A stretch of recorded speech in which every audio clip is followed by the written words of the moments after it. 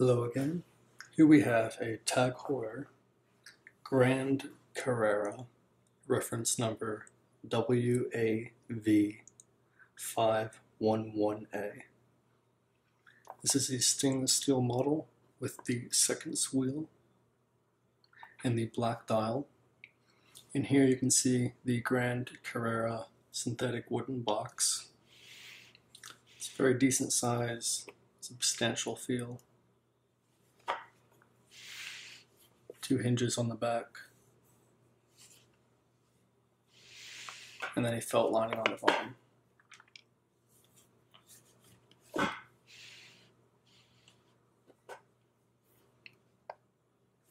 Opening it up, we have the synthetic leather with a perimeter stitched, and that is the Heuer booklet and manual cover, as well as Tag Heuer inscribed on the top.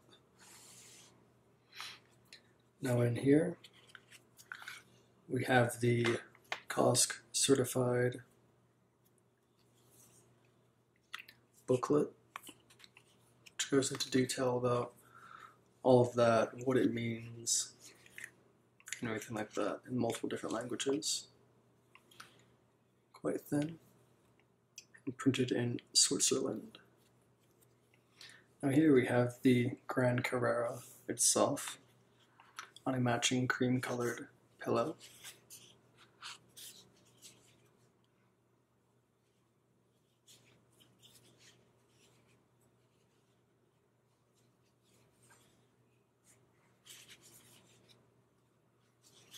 Just got extra links and pins down there. Is a deployant clasp.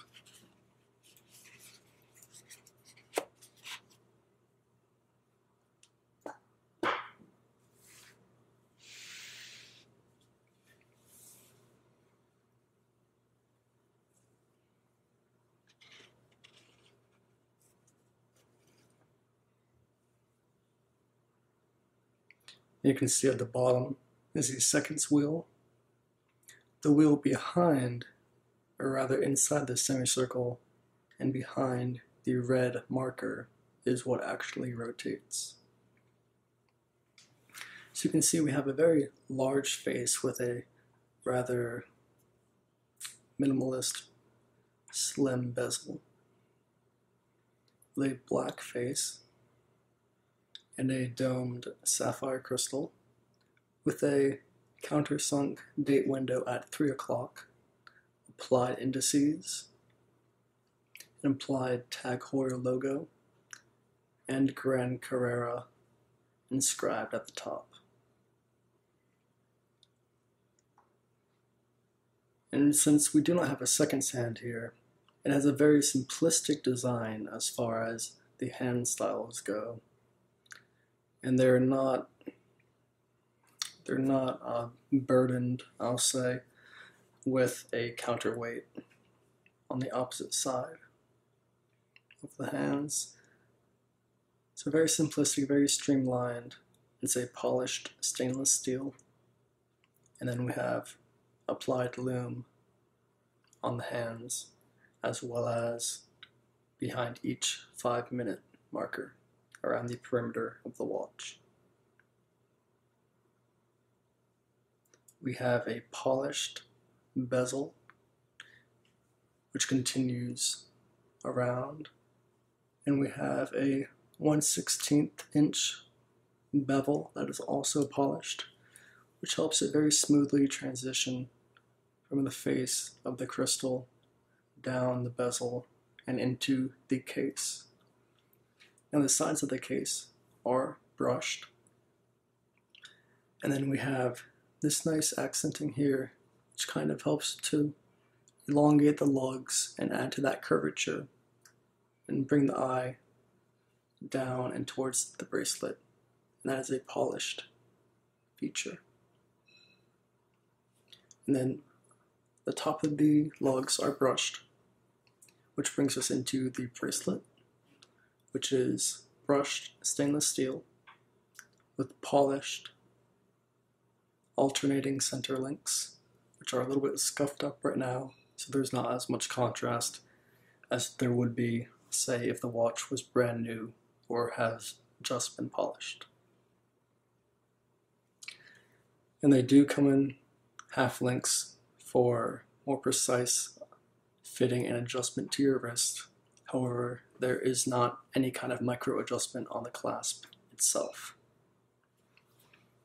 Like I stated, the clasp is a deployant clasp, brushed, with Tag Heuer engraved on the top of the bezel, deployant with just these two buttons on the side.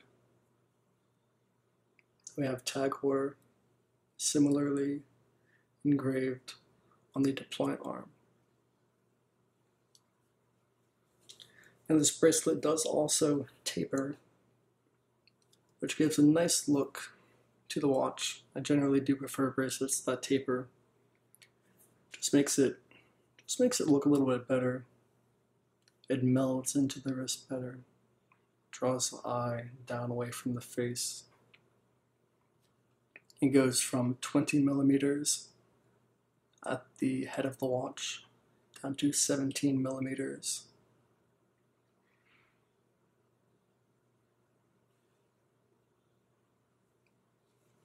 And the bracelet reference is 3123. Now coming back to the face of the watch.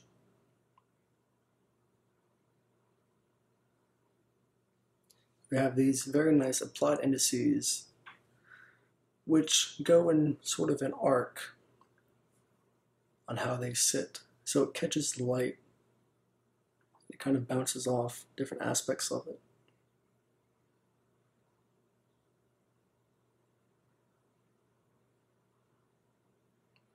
And we also have this perimeter of the dial which has a brushed or ridged effect.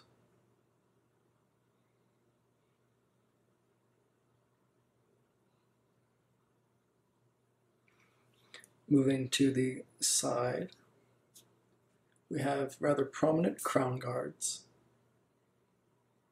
with a screw down crown with the Heuer logo.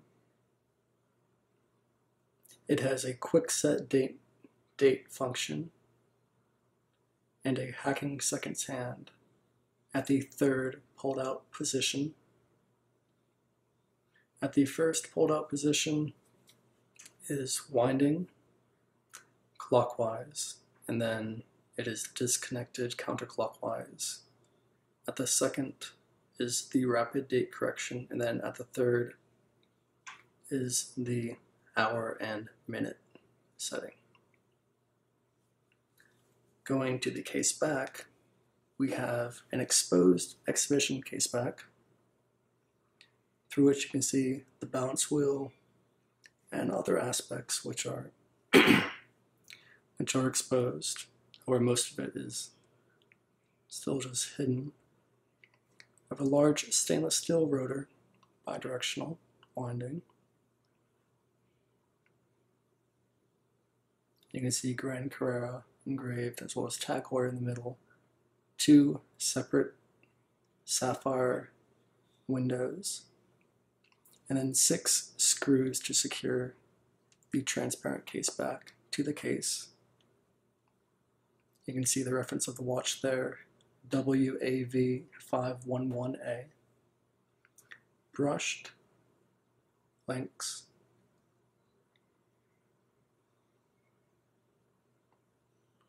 and also has engraved Swiss made since 1860.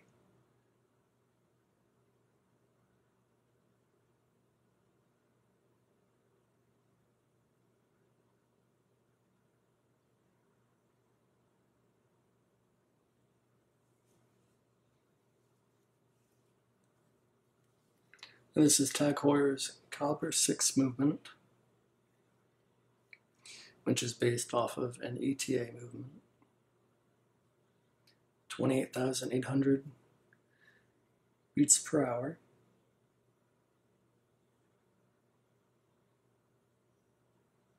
However, you don't exactly get to see that since you have a second's wheel post to a second's hand.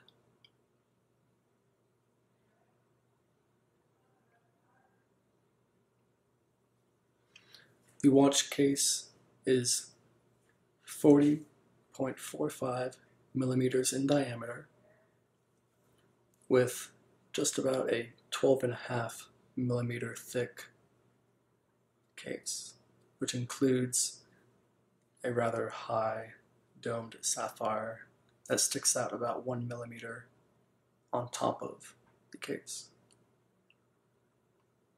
The lugs are not very curved. They tend to stay horizontal with the case. However, it does still fit well on a wrist due to the rather smaller case size and the thinner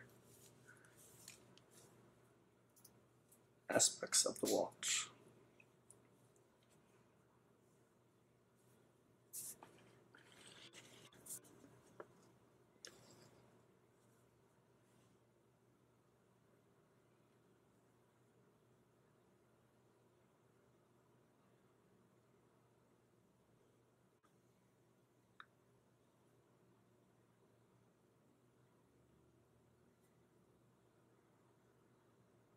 This does have 10 bar water resistance, 100 meters.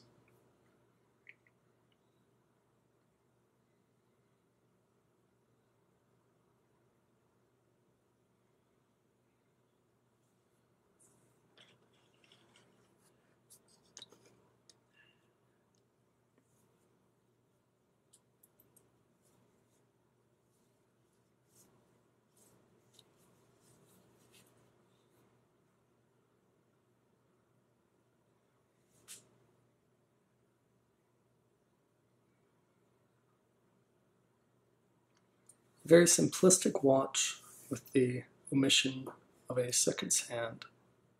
However, once you really have a moment to look at it, the seconds wheel is a rather unique feature. I also like that little hint of red in the seconds wheel indicator, which is almost obscured by the hour hand at the moment. And go ahead and unscrew the crown and show you all.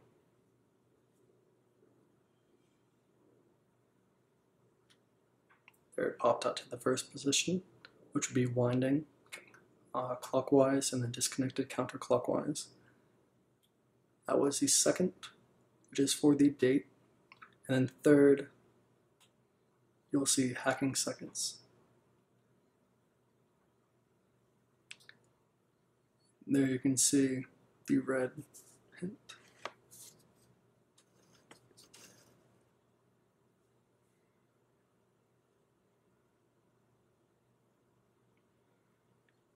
And the ridges that go around the perimeter of the dial.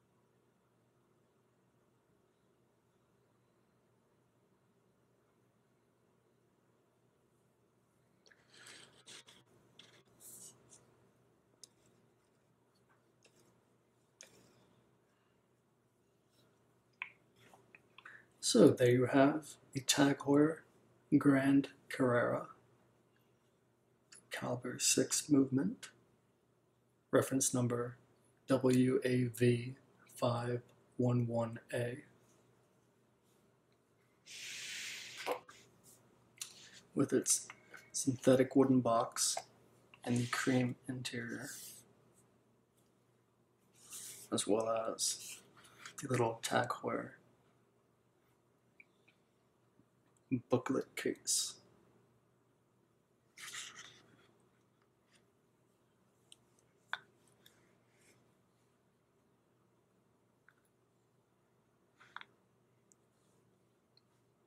Thank you all once again for watching.